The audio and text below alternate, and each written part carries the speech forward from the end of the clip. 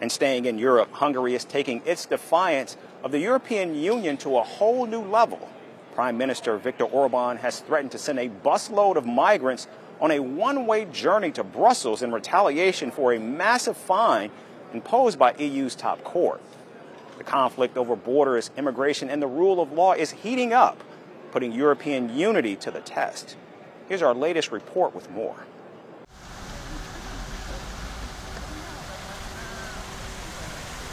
A brewing showdown between Hungary and the EU is reaching a breaking point, with migration policy and the rule of law at the center of the conflict.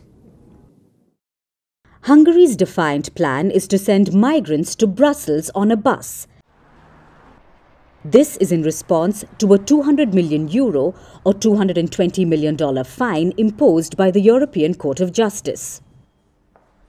This type of activity is not recognized by the European Union, but we are attacked for it. The EU does not compensate Hungary financially, but wants to force Hungary to abandon its border protection by giving us a hefty fine for something which is nothing more than compliance with laws of the European Union and Hungary.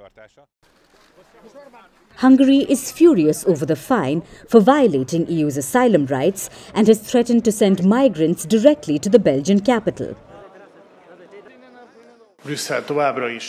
If Brussels continues to want to force a regulation on Hungary that does not make it possible to detain migrants at the border, then we are going to offer every migrant on the Hungarian border voluntary transport to Brussels free of charge. If Brussels wants migrants, then it can have them. The goal is for migrants not to come to the member states.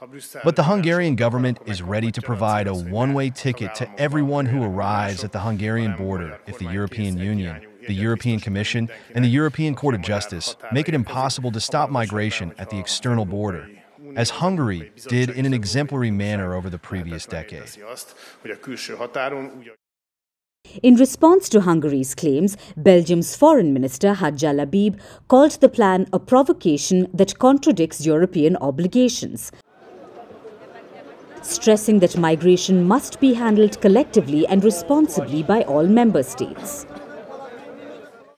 Nicole de Moor, who's Belgium's state secretary for asylum and migration, went further, vowing to block any such buses at the border and urging a strong European Commission response.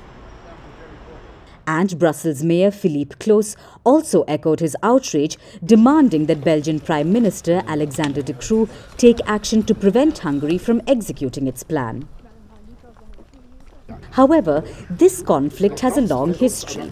Apart from stemming from the ECJ's ruling, which slapped a lump sum fine in June, the court has also found Hungary guilty of severely breaching EU asylum laws and imposed an additional 1 million euros, which is over $1 million for each day, if the violation persists. To this, the Hungarian Prime Minister Viktor Orban reacted furiously, calling the court's decision outrageous and unacceptable. Tensions escalated when Orban's government publicly unveiled buses marked Roske Brussels. Hungary's state secretary declared if Brussels wants illegal migrants, Brussels can have them. If the European Union, Brussels, wants to force Hungary to let in the illegal migrants, those we have stopped so far a million times at Hungary's southern border, then Hungary, after the implementation of the European procedure, will offer these illegal migrants a voluntary, free of charge, one way ticket to Brussels. If Brussels wants illegal migrants, Brussels can get them.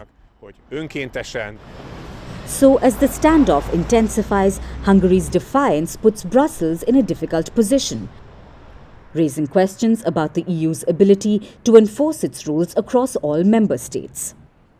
With no clear resolution in sight, the conflict threatens to become a broader challenge to the EU's migration policies and the rule of law.